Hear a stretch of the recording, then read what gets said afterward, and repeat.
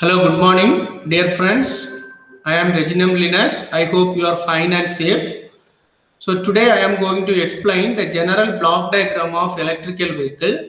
So before that, I would like to summarize what all the content we have completed. The couple of lectures I have learned, I have taught already. First, initially we have learned that summary of that uh, history of electrical vehicle. One why we need to go for electrical vehicle. Then what are all the manufacturers who are going to launch the electrical vehicle in India in this year 2020 and then uh, different uh, control strategies also. But after that we come with buck converter controlled um, electrical vehicle for motor applications where how one can do that uh, simulation by using buck converter control for electrical vehicle application we have learned different waveforms how one we can do with the kilometer to um, uh, rpm to kilometer. So these are all the things we have learned in this lecture.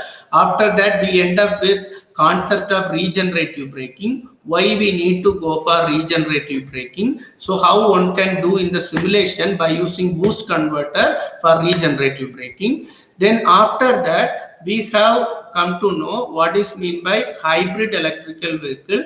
In this hybrid electrical vehicle uh, why we need to go for hybrid electrical vehicle? So operating principles of hybrid elect electrical vehicle. Hybrid in the sense ic engine based hybrid electrical vehicle.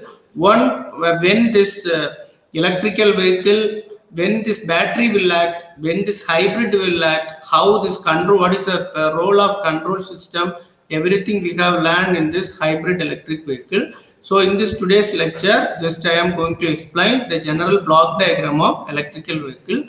So kindly uh, let me please wait for, uh, I would like to share the screen of this presentation.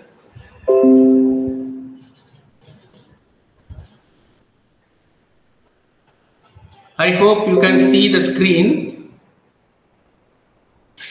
So today, uh, today we are going to learn about that uh, uh, general block diagram. So summary of previous lecture, once I just revise importance, history and development of electrical vehicle we learned, simulation of buck converter we learned, calculation of speed from RPM to kilometer, understood the concept of regenerative braking and hybrid electrical vehicle.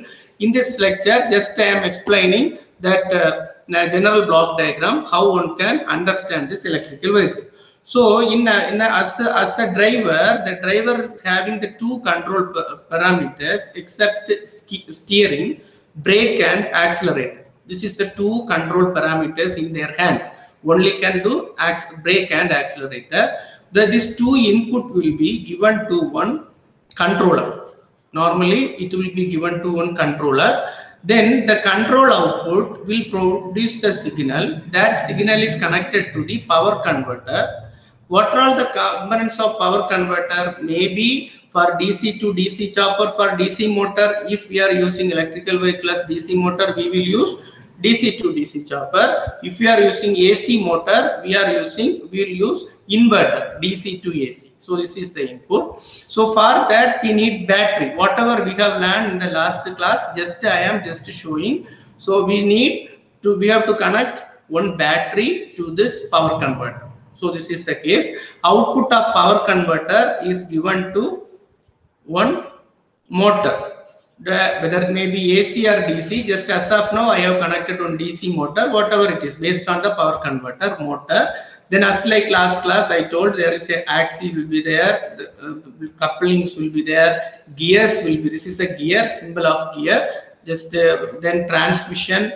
And finally we will into the connected to axis axis then connected to the wheel so this is the normal power flow. Already i told you that power flow is from at uh, battery power converter motor and gear system and transmission line so this is the transmission and that wheel uh, through the axle.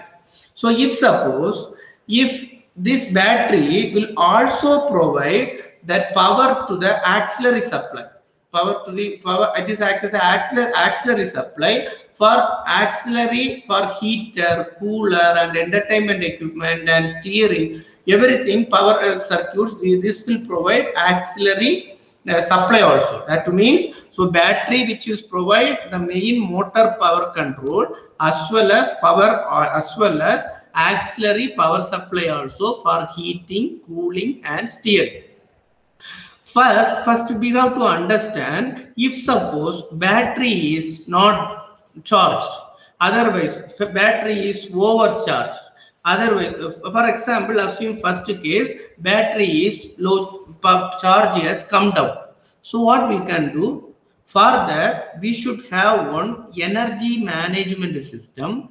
This energy management system, which will control the battery as well as the power supply from where that uh, we are getting the battery is getting the power so then it will control this energy management system having the control parameters with this controller. So for example bad brake we have applied. If we apply the brake controller give the signal to this energy management system that battery is uh, that brake has applied. If the brake is applied power required to the motor has to be less power no need of giving more power. So automatically this energy management system which will control the battery to reduce the power based on the control of power converter. So that battery will reduce battery will uh, the power taken from the duty cycle is adjusted in the power converter. So automatically power flowing to the motor will be reduced. Therefore input to the motor is reduced. Therefore we can control if for uh, similarly for regenerative action for braking and all regenerative action also possible. Motor will act as a generator. Accordingly duty cycle will be adjusted based on the speed we, we need.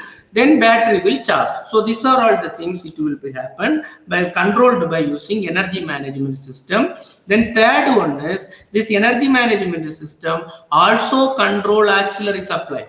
While some cases battery power will be very less auxiliary supply needs some power. That time automatically energy management system will provide the signal that battery is not not at all available. Supply charge is not at all available. So we need power from grid for charging the battery. So that battery management system which uh, which will give have one battery charger this battery charger whenever the, in the battery there is no power power require power charge stored in the battery is less the energy management system which will give the signal to the battery charger accordingly battery will battery charger will collect the supply from the grid and given to battery so this is the case of entire block diagram of uh, detailed block diagram of electrical vehicle. So now, and once again repeat, the energy, what is the main role of energy management system? It is the main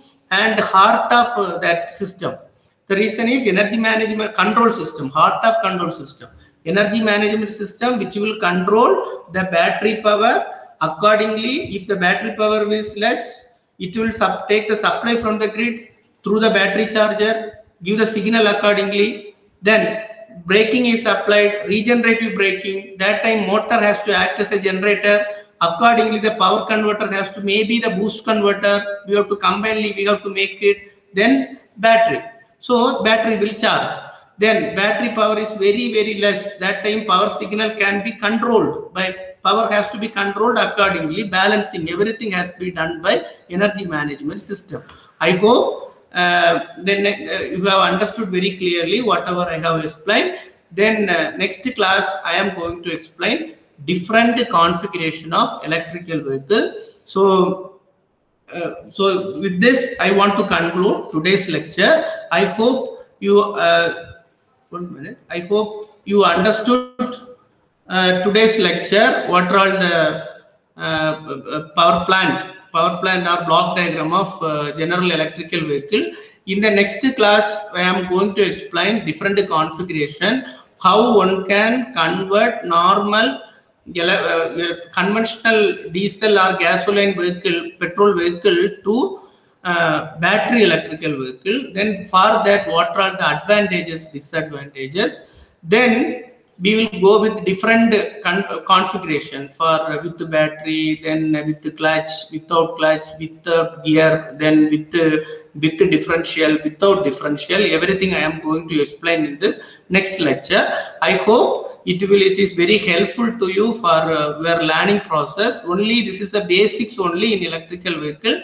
Uh, so that it uh, i think i can share the knowledge outside whatever i know anyway thank you so much for your good views and uh, some some comments through the different uh, medias to me. So wish you all the best. I hope you will get a good feature for uh, reading this going through this webinar uh, so reading through this uh, online lecture.